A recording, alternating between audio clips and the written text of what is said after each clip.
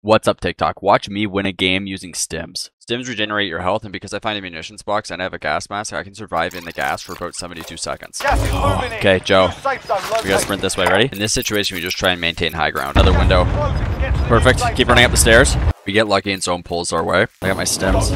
Yep, okay. When we get to the roof, one guy zone pulls to the roof where we were at previously, so we're able to maintain high ground. This is it. Do or die. In this situation, if I peek over the ledge, I'm dead. So what I do is I run my last stim and then drop my munitions box to replenish them. So this is going to give me an additional 24 seconds on top of my health.